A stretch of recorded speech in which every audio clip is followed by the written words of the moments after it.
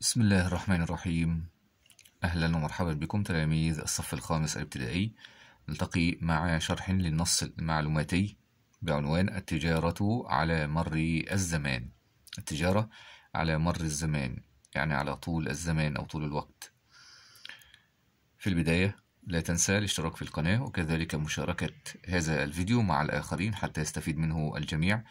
وكذلك لا تنسى تفعيل الجرس والإعجاب بهذا الفيديو. أولا فكر. اختر لكل صورة المناسب لها مما بين القوسين. واكتبه أسفلها. اكتب المناسب من هذه الكلمات تحت كل صورة. هنا التجارة الداخلية.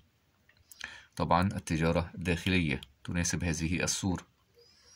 فهو نوع من أنواع التجارة بيع وشراء داخلي داخل البلد. وليس خارجها. أما التجارة الخارجية فهي تمثل هذه الصورة. فهنا نقل للبضائع للخارج من خلال وسائل يعني المواصلات المختلفة وسائل النقل المختلفة. طيب هذه تجارة إلكترونية يعني عن طريق الإنترنت مثلا. بعد ذلك المقايدة هذه هي المقايدة يعني مبادلة شيء بشيء. نبادل شيء مكان شيء آخر. يعني مثلا هنا قمح مقابل مثلا ماء وهكذا. مبادلة شيء بشيء وهو الإيه المقايدة كل هذه أنواع من أنواع التجارة التي التي سوف نتناولها يعني بأنواعها المختلفة على مر الزمان والعصور. تعد التجارة وسيلة من وسائل التبادل التي يستخدمها الناس في تبادل المنافع والسلع الضرورية يعني تعد طبعا يعني تعتبر. هذه التجارة هي وسيلة من وسائل التبادل التي يستخدمها الناس في تبادل إيه؟ بيتبادلون طبعا المنافع والسلع. المنافع الفوائد. والسلع طبعا بتشمل كل ليه البضائع الضرورية. يبقى هذه هي التجارة. تعريفها البسيط. يبقى التجارة عبارة عن تبادل للمنافع والإيه؟ والسلع. كما أنها تعد من أكثر الأنشطة التي مارسها الإنسان قديما مارسها يعني زاولها وقام بها. الإنسان من أقدم الأشياء ومن أقدم الأنشطة يعني اللي التجارة دي منذ القدم. ولكن طبعا اختلفت صورها تطورت. والتي كانت سببا في حدوث تطورات كبيرة للحياة الإنسانية. بهذه التجارة جعلت حياة الإنسان متطورة جدا. ويعود تاريخ التجارة إلى عشرة آلاف عام قبل الميلاد. عشرة آلاف سنة قبل الميلاد يعني فالتجارة تمارس منذ القدم حتى من قبل الميلاد ميلاد سيدنا عيسى. يعني نحن الآن نقول مثلا نحن في سنة كذا ميلادية. لا هذا عشرة آلاف سنة قبل أصلا قبل بداية الميلاد. طيب حيث كانت آنذاك في هذا الوقت منذ القدم كانت متركزة على تربية المواشي والمتاجرة فيها. فكانت التجارة في البداية كانت عبارة عن تربية المواشي المواشي التي تشمل الإبل والبقر والغنم والمتاجرة فيه لكونها من أبرز الموارد الغذائية. فطبعا هي من الأشياء المهمة في الغذاء هذه في اللحوم يعني. هذه الأشياء فكأن يتم المتاجرة في هذه الأشياء أكثر من غيرها يعني بيتم التركيز عليها. التركيز طبعا يعني متركزة يعني معتمدة على كذا. وآنذاك يعني في ذلك الإيه؟ في ذلك الوقت. وكانت من أبرز يعني من أهم أو أوضح طبعا أوضح أو أهم كلمة أهم يعني الموارد الغذائية. يبقى إذن فيما يستخدم الناس التجارة يستخدمونها في تبادل المنافع والسلع الضرورية. ومع مرور الوقت ظهرت عمليات المقايدة يبقى إذن التجارة في البداية كانت تعتمد على تربية المواشي والتجارة فيه. بعد ذلك ظهر شيء جديد اسمه المقايدة ما معنى المقايدة؟ كما قلنا بمعنى مختصر هي المبادلة. مقايدة شيء بشيء يعني إيه؟ مبادلته ولكن ولكن اعتمادها على وجود رغبة بين الطرفين أدى إلى فشلها. فشل هذه العملية وهو ما أدى لظهور بعض العم بعض العمليات التجارية الجديدة كالمتاجرة بالأصداف. وبعض أصداف طبعا البحرية ومثل هذه الأشياء وبعض الأغراض الثمينة كوسيلة للتبادل التجاري. الأغراض الثمينة اللي هي الغالية يعني وهذه أصلا الأشياء برضو غالية. طيب يبقى إذن في بداية في بداية التجارة قديما كانت تعتمد على تربية المواشي ثم ظهرت عملية المقايدة ولكن هذه العمليات فشلت في البداية. لماذا؟ لأنها تعتمد على وجود رغبة بين الطرفين. بمعنى يعني عندما أبادل شيء بشيء لابد أن يكون لدي رغبة في مبادلة هذا الشيء الذي معي الذي معك. وكذلك الطرف الآخر لابد أن يكون له رغبة أيضا. فإذا لابد أن أجد الشخص الذي لديه رغبة أن يأخذ الشيء الذي معي. وهكذا. طبعا يعني صعوبة صعوبة وجود الطرفين دول اللي هم كل واحد يرضى أو يريد الشيء الذي مع الآخر. طبعا هذا شيء يعني كان من الصعوبة فبالتالي أدى إلى فشلها. فبالتالي أدى إلى ظهور بعض العمليات التجارية جديدة كالمتاجرة بالأصداف والأشياء اللي هي غالية الثمن.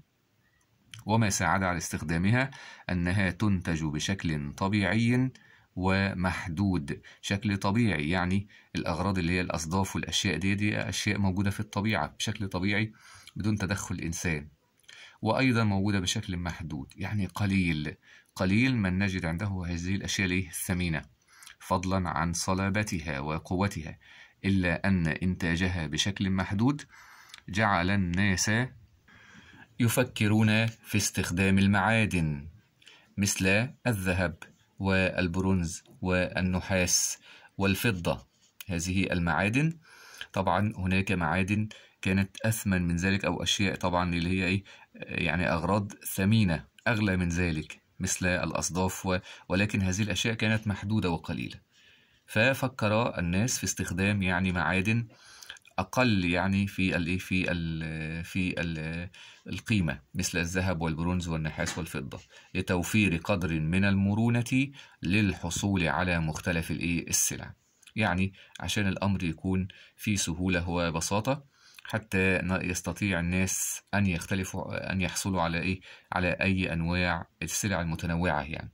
وبدأ بذلك الاستخدام الأولي للعملات المعدنية. يبقى إذا من البداية التجارة كانت معتمدة على تربية المواشي ثم المقايدة ثم فشلت هذه العملية وبالتالي ظهرت عملية المتاجرة بالأصداف واللي هي الأغراض الثمينة. ولكن طبعا الموضوع ده كان محدود جدا. ليه؟ لأن الأشياء هذه ثمينة وغالية. فاستخدموا المعادن بعد ذلك. طيب على الصعيد التجاري يعني الصعيد بمعنى المستوى. المستوى التجاري ظهرت بعض أنواع التجارة القديمة. كتجارة الحرير. والأقمشة والورق والبارود يبقى دي أشهر أنواع التجارة التي ظهرت قديما. يعني كانوا بيتاجروا في إيه؟ في الحرير والأقمشة والورق والبارود. طيب بعد ذلك ظهرت الأسواق التجارية البسيطة التي يتم فيها البيع والشراء. ظهرت الأسواق التجارية. طيب نعمل أسواق عشان نبيع ونشتري فيها. يبقى إذا قديما كانت التجارة بدون إيه؟ بدون أسواق. يعني مش بتعمل لها سوق مخصوص عشان الناس يتاجروا فيه ويبيعوا فيه ويتبادلوا الأشياء التي يتم فيها البيع والشراء. ثم بدأت عمليات التجارة تتخذ الطابع الخارجي. طابع يعني بمعنى التوجه الخارجي أو الشكل يعني الخارجي مع زيادة القوافل عبر الطرق التجارية. يعني كانت التجارة كانت إيه؟ في الداخل فقط. ثم بعد ذلك توسعوا أصبحت التجارة في الخارج أيضا. يعني ينقلون التجارة من وإلى من الداخل إلى الخارج والعكس. طيب عن طريق القوافل القوافل التجارية اللي هم مجموعة التجار اللي هم بيسافروا من مكان إلى مكان وبنقلوا طبعا الإيه؟ التجارة عن طريق القوافل وعن طريق الإبل يعني قديما. طيب اذكر بعضا من أنواع التجارة قديما. بعض الأنواع تجارة الحرير الأقمشة الورق والبارود. ومع العمليات الاستكشافية. للعديد من من مناطق العالم بدأ يعني الناس والمستكشفون يستكشفوا أماكن جديدة في العالم وتظهر أماكن جديدة في العالم أصبحت العمليات التجارية أكثر مرونة. المرونة يعني اللي هي الاستجابة للتغيرات التي تحدث. طيب أكثر مرونة. وصارت هناك رحلات موسمية تجارية في مواسم للتجارة في وقت يعني محدد لها مواسم وأوقات محددة اللي هي التجارة دي وتلك الرحلات تم بسببها عقد كثير من الإيه؟ من الاتفاق الاتفاقيات. عملوا اتفاقيات بسبب هذه الإيه؟ الرحلات. طيب ومن ثم يعني ومن هنا ظهرت طبعا ثم هنا بفتح الإثاء وليس ثم. ومن ثم ظهرت بعض الشركات التي ظلت تتطور لتصبح جزءا من الواقع التجاري وهو ما أدى إلى ظهور قوى تجارية عالمية ضخمة مع مرور الوقت. يعني لما حصل هذه الرحلات اللي هي تحدث في مواسم مختلفة تم إنشاء شركات بقى خاصة بشركات تجارية خاصة بهذه التجارة. فظلت تتطور وتتقدم فأصبحت جزء من الواقع التجاري. الشيء بقى اللي بنراه واقعي بقى أمر إيه؟ واقعي وملموس. وهو ما أدى لظهور قوى تجارية عالمية ضخمة مع مرور الوقت. أصبح هناك بقى شركات عالمية وقوية جدا في مجال التجارة. للتجارة أنواع. التجارة أنواع. إحنا قلنا تكلمنا على بعض الأنواع قديما. أنواع التجارة. تجارة الحديد والأقمشة والورق والبارود. ولكن للتجارة أنواع منها تجارة داخلية. ما معنى التجارة الداخلية؟ هي التي تلك تلك التي تحدث داخل البلاد. وأيضا التجارة الخارجية. هي العكس التي يتم فيها تداول السلع بين بلدين مختلفين. وتداول بمعنى تبادل بين بلدين مختلفين. يبقى هي تجارة خارجية خارج البلاد وليس داخلها. وهناك نوع آخر من التجارة ظهر حديثا ألا وهو التجارة الإلكترونية. هذا هو النوع الثالث. هذا ظهر حديثا. وهي تشير إلى الأنشطة التجارية التي تتم عبر الإيه؟ عبر الإنترنت. طيب إذا عرف التجارة الداخلية. هي التي تلك التي تحدث داخل البلاد داخل حدود البلد. للتجارة دور مهم في تنمية الاقتصاد. هنا بتكلم على أهمية هذه التجارة. هل لها دور؟ طبعا مهمة في تنمية اقتصاد البلد اقتصاد العالم. فضلا عن تغييرها للعالم بدفع الإنتاجية وزيادة الإنتاجية. الإنتاج ونشر التكنولوجيا الجديدة وجعل المنتجات أقل تكلفة. طبعا كلما زادت هذه التجارة بالتالي أصبحت المنتجات والسلع هذه أقل في التكلفة سعرها بسيط. فهي تشكل عاملا بالغ الأهمية بالنسبة للتمويل. كلمة التمويل اللي هو تقديم الدعم المالي أو المادي. يبقى إذن هي مهمة في موضوع الإيه؟ تقديم الدعم التمويل. وتقدم التنمية الاقتصادية في البلدان النامية. البلدان التي تنمو ليست البلدان اللي هي متقدمة بل النامية التي ليس التي في البداية في بداية التقدم يعني. طيب وتقدم هذه تقدم التنمية الاقتصادية يعني إن هي بتدفعها أو تعطي هذه التنمية في البلدان النامية حيث تعتمد عليها في تأمين السلع الضرورية. وتأمينها بمعنى توفيرها يعني توفير السلع الضرورية لهذه البلدان. طبعا بلدان وبلاد جمع لجمع بلد. كما تعتمد على مستويات الادخار والاستثمار طبعا الادخار اللي هو التوفير برضه. وأيضا الاستثمار اللي هو استخدام الأموال يعني استثمارها استخدامها في الإنتاج. تعتمد مستويات الادخار والاستثمار فيها على حصيلة التبادل التبادل الإيه؟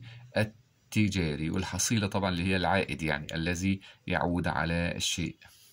لذا علينا أن نهتم بالتجارة ونرفع حصيلتها يعني عوائدها. نظرا لأهميتها الكبرى في تنمية الاقتصاد الوطني. يبقى الخلاصة إن طبعا التجارة مهمة في تنمية الإيه؟ في تنمية وزيادة الاقتصاد. فلذلك علينا أن نهتم بالتجارة. للتجارة أهمية كبيرة. قلنا أن أهميتها تعود أساسا في تنمية الاقتصاد وأنها تغير العالم. لها دور في تغيير العالم بزيادة الإنتاجية ونشر التكنولوجيا وكذلك تجعل المنتجات أقل أقل تكلفة. معاني الكلمات كلمة المنافع معناها الفوائد والسلع هي البضائع. مارسها يعني زاولها أو قام بها. زاول هذا الشيء يعني قام به فعله. آنذاك يعني في ذلك الوقت. الآن الآن اللي هو كلمة آن اللي هو وقت. كلمة آن. اللي هو الايه الوقت؟ طيب متركزة. المراد بها هنا معتمدة. متركزة على يعني معتمدة على. أبرز اللي هي معناها أوضح بس المراد هنا أهم. المقايدة هي المبادلة. وكلمة الثمينة الغالية. محدود المراد يعني قليل. الشيء ده محدود يعني قليل. تتطور تتقدم. تداول التداول هو الإيه؟ هو التبادل. بعد ذلك التمويل هو تقديم الدعم المالي. أو المادي. كل أنواع الدعم طبعا يسمى إيه؟ اللي هو التمويل. تقدم تعطي وتوفر ولكن المراد هنا تزيد وإيه؟ وتدفع. التأمين هو الضمان. عليها تأمين ضمان. لكن المراد توفير. الادخار التوفير. طبعا الادخار الألف هنا ألف وصل ليست قطع. يعني لا ننطق هذه الإيه؟ لا تنطق الهمزة هنا لا تنطق الألف. الادخار الادخار. هكذا. الدال طبعا مشددة. بعد ذلك الاستثمار. المراد استخدام الأموال في الإنتاج. كلمة استخدام أيضا ألف وصل استثمار ألف وصل زي الادخار. طيب في بعض الأفعال هنا كلمة تقدم اللي تعطي وت... كل هذه الأفعال مضارعة كلمة تتطور تتقدم مضارعة أيضا. طبعا الفعل المضارع اللي هو ما زال إيه يحدث. إنما كلمة مارس وزاول وقام كل هذه أفعال ماضية. كلمة المنافع عكسها الأضرار. طيب قديما حديثا فشلها نجاحها. محدود اللي هو قليل يبقى إذن المضاد كثير أو منتشر. الخارجي الداخلي تتطور تتأخر. تقدم كذا يبقى عكسها تؤخر أو تأخذ وتمنع.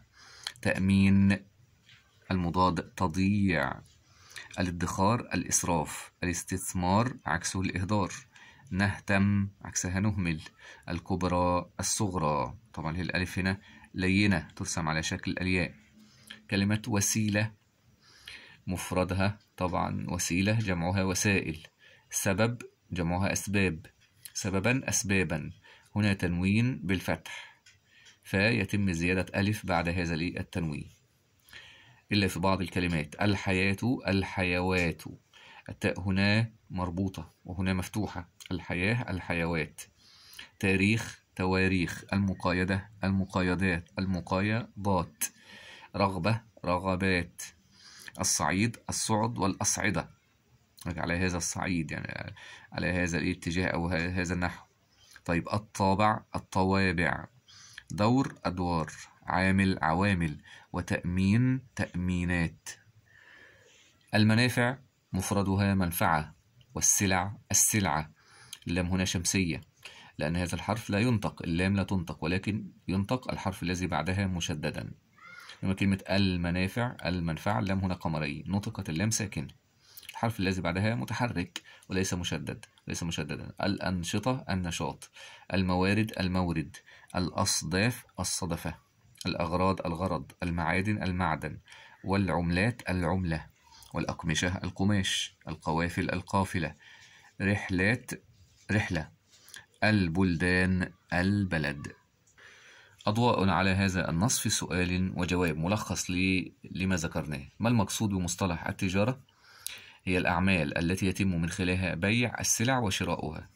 بعملية يتم فيها البيع والشراء للسلع والبضائع. وكذلك الخدمات. وترتبط التجارة ارتباطا وثيقا بالإيه؟ بالحضارة. طيب كيف يستفيد الناس من التجارة؟ عن طريق استخدامها في تبادل المنافع والسلع الضرورية. ما التاريخ الذي تعود إليه نشأة التجارة؟ تعود نشأة التجارة إلى عشرة آلاف عام قبل الميلاد. طيب على ما ارتكزت التجارة قديما؟ طبعا ارتكزت على تربية المواشي. يعني الإبل والبقر والغنم والمتاجرة فيها. لماذا؟ لكونها من أبرز وأهم الموارد الغذائية. كانت مهمة فلذلك بدأت التجارة فيها. لماذا فشلت عمليات المقايدة المبادلة؟ لأنها اعتمدت بشكل أساسي على وجود رغبة بين الطرفين في عمليات تبادل المنافع والسلع. وبالتالي لو الشخصين اللي هما الطرفين دول في واحد ما عندوش رغبة في التبادل فبالتالي لا تتم عملية المقايدة ففشلت يعني. ما السبب وراء ظهور المتاجرة بالأصداف؟ أنها تنتج بشكل طبيعي. ده أمر شكل طبيعي موجود في طبيعة في الحياة ومحدود قليل فضلا عن صلابتها. لماذا فكر الناس في استخدام المعادن الصلابة لعكس العكس ليه عكس المرونة؟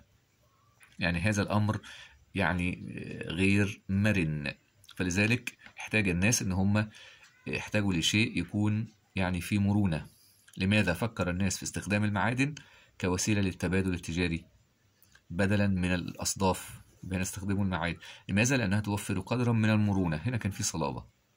الأمر ده كان صعب يعني اللي هو الأصداف. ليه؟ لأنها محدودة وقليلة الأصداف والأشياء اللي هي غالية الثمن.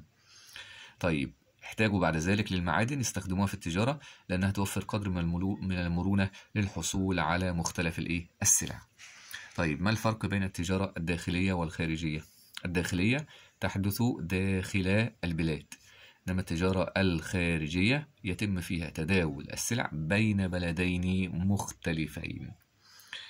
اذكر نوعا من أنواع التجارة. ظهر حديثا طبعا هو التجارة الإلكترونية. طيب ما المقصود بها؟ هي التجارة التي تتم عبر الأنشطة التجارية التي تتم عبر الإنترنت. تلعب التجارة الخارجية. دورا مهما في تطور المجتمعات حيث تعمل على تنمية الاقتصاد وزيادته. كذلك تغيير العالم بدفع وزيادة الإنتاجية لا في إنتاج كثير. أيضا نشر التكنولوجيا الجديدة. نشر التكنولوجيا ليه؟ لأن طبعا إحنا بننتقل من بلد إلى آخر فبالتالي بننقل الثقافات والعادات وكل هذه الأشياء إلى البلد الآخر. كذلك جعل المنتجات أقل تكلفة أقل يعني في السعر. تابع معي الفيديو القادم وهو حل أنشطة الأضواء على هذا النص المعلوماتي. في النهاية شكرا لكم على حسن الاستماع ولا تنسى الإعجاب بهذا الفيديو وكذلك الاشتراك في القناة وأيضا بالتعليق ومشاركة هذا الفيديو مع الآخرين حتى يستفيد منه الجميع. شكرا لكم والسلام عليكم ورحمة الله وبركاته.